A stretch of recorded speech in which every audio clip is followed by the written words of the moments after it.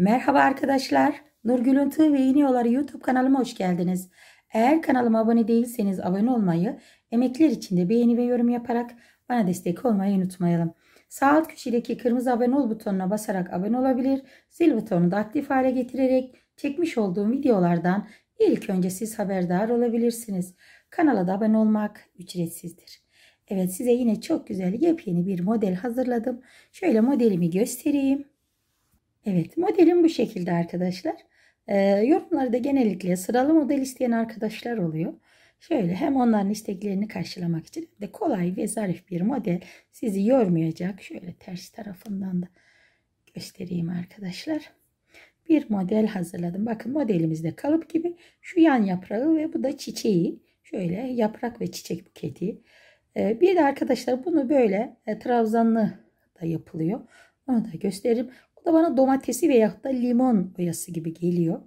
Böyle bu şekilde. Şöyle bir de e, tülbent üzerinde göstereyim. Bakın arkadaşlar.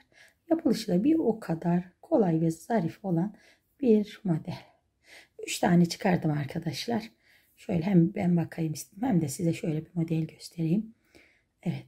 Sıralı çift sıra giden bir model. Şimdi modelimizin anlatım kısmına geçelim. Evet şöyle ikişer zincir çekerek tülbentimin kenar tığlama işlemlerini hazırlıyorum ilk önce. 696 Nurgül'ün tığ ve iğne yolları YouTube'un arama kısmına yazdığınız takdirde hemen arkadaşlar tülbent kenar tığlama işleminin püf noktaları karşınıza çıkacak. Köşe dönüm işlemi de o aynı videoda mevcut. Hatta böyle yorgan ipi gibi hani kıvıramayanlar için kolaylık olsun diye nasıl yapıldığı o videoda mevcut arkadaşlar. Her çeşit tığlama işlemini anlattım orada.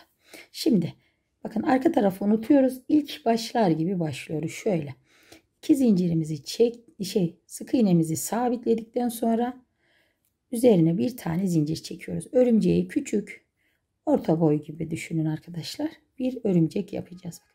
Bir zincirimi çektikten sonra ipimi uzattım. İpimi uzattığım boyutum örümceğimin uzunluğunu belirliyor. Şöyle bakın bu uzunlukta bir örümcek hazırladım. Bunu iki tığ battı boyutu da düşünebilirsiniz örümceğinizi. Şöyle iki defa tığı doladım.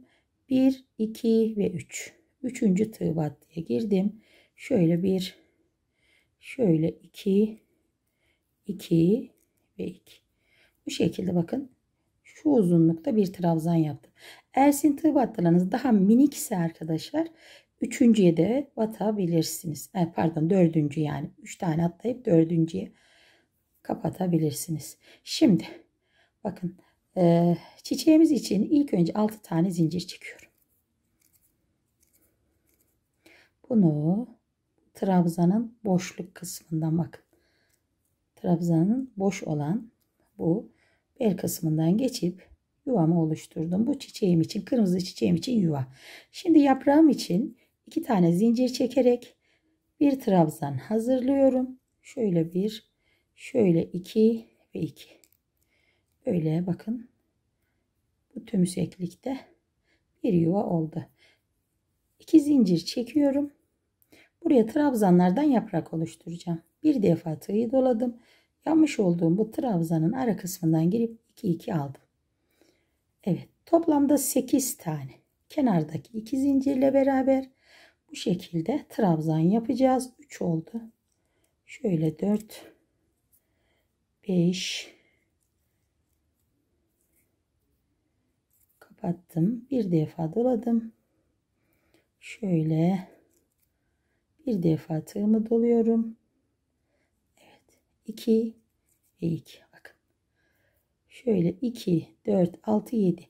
7 tane arkadaşlar trabzanı yaptık. 8.ye buraya bakın yapmış olduğumuz bu ilk trabzanımıza kapattık. Yaprağımız bu şekilde oluyor arkadaşlar. Şöyle yanında 6 zincirden bir yuva trabzanın içine yapmış olduğumuz 7 tane ikili trabzan. Geriye kalan bu kısma da 6 tane sık iğne yapıyorum bakın. Bu şekilde. Şöyle sıyıralım yukarı doğru. Şöyle 2 3 4 5 ve 6. 6 tanelik sık iğneden sonra şimdi aynı tığ battıya değil de bir sonrakine kapatıyorum arkadaşlar. Şöyle yapmış olduğumuz yaprağımızı ve yuvamızı gösterelim. Böyle arkadaşlar birbirine yakın ve dik olması lazım. Yoksa bu geçiş e, zincirleri var bakın arka tarafında. Bu zincirleri çok çekmeniz gerekir. O da birbirine yakınlaştırmak için çok çirkin durur. O yüzden bu yapraklar şöyle dik dik birbirine yakın olacak. Bakın iki yaprağın arası.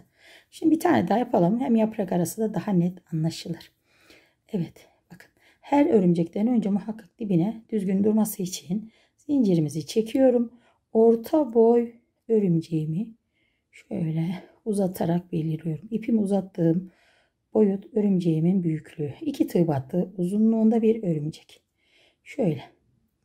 Örümceğin üzerine iki defa dolayıp iki tığ battı atlayıp üçüncüye bir, iki, iki ve iki.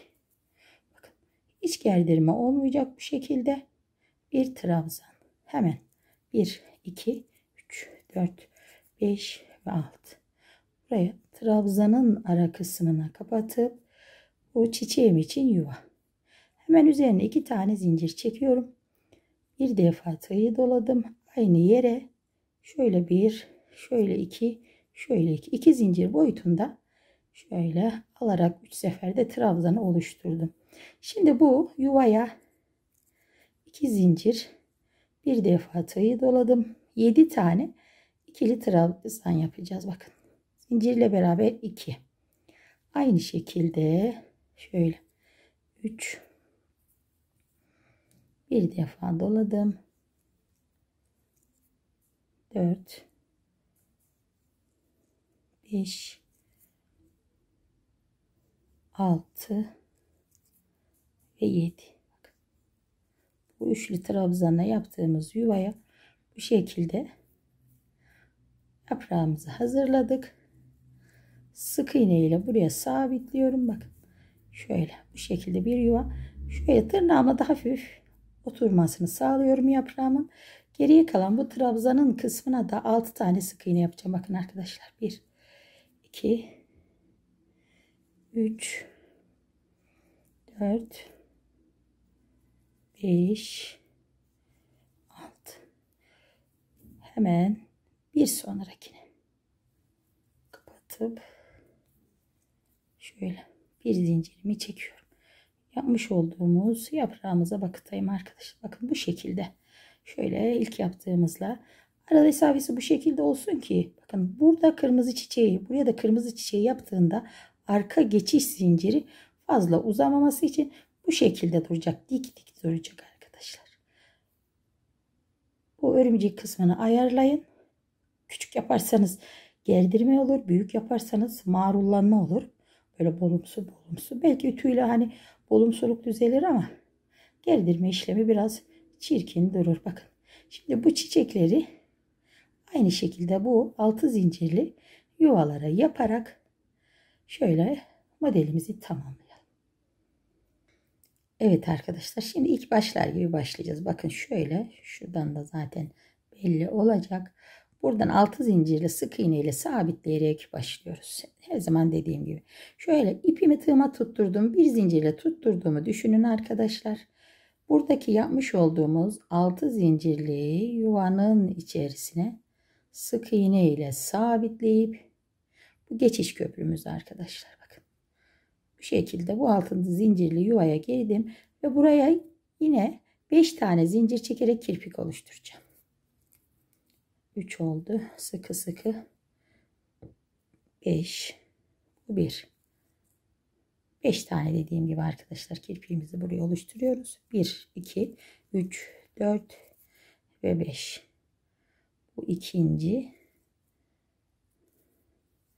1 2 3 4 ve 5 3 1 2, 3, 4 ve 5. 6 tane zincirli yuvaya tam iyi geliyor. Dördüncüyü kapattık. 3, 4, 5 ve yeşil yuvanın içerisine girip sabitledim. 1 2 3 4 5 6 7 ve 8 hemen arkadan bakın bu geçiş köprümüz. Yine bu altı zincirli yuvanın içerisine girip sabitledim. 1 2 3 4 5 zincirimi çekiyorum. Buraya yuvanın içerisine girip kapattım. 1 2 3 4 ve 5 zincir kapatıyorum. Tekrar 3 oldu. 1 2 3 4 5 1 2 3 4 ve 5 bu şekilde kapattım ve bakın bu altı zincirin içerisine 5 zincirden çiçeğimizi oluşturuyoruz. Şöyle arkadaşlar iki tane yaptık. Çiçekte iki tane. Bu şekilde 8 zincirle devam edip karşıya geçecek. Şu parmağımdaki ipi çıkarayım. Evet arkadaşlar bakın hiç ütülemedim filan ama çok güzel gözüküyor. Gerçekten hoş da oldu renklerde. Zaten beyazın üzerine yaptığımda çok hoş oluyor arkadaşlar. Diğer renkler ışıktan dolayıdır artık. Onlar da çok güzel yapıyorum ama şöyle beyaz ışıktandır. Bu şekilde çok hoş duruyor. Sıralı ve hoş bir model oldu bakın. Verdiğim sayılar ve taktiklere uyarsanız sizi de aynı bu şekilde hazırlarsınız modelinizi. Gerçekten çok güzel oldu arkadaşlar. Bakın sizle yaptıklarımız daha bir hoş oldu. Örümcekleri de aynı gösterdiğim ipi uzatın. Boyutunu belirleyin. İki tığ battı boyutunda ipi uzatıp sonra örümceğinizi kapatın. Ne büyük olur ne küçük hepsi aynı ayarda olur. Şöyle bakın tığlama işlemimi de göstereyim son olarak sizlere. Bu tığlama zarif ve narin. Evet. Sizler de arkadaşlar emekler için beğeni yorumlarınızla şöyle bana destek olursanız sevinirim. Allah'a emanet olun arkadaşlar. Hoşçakalın.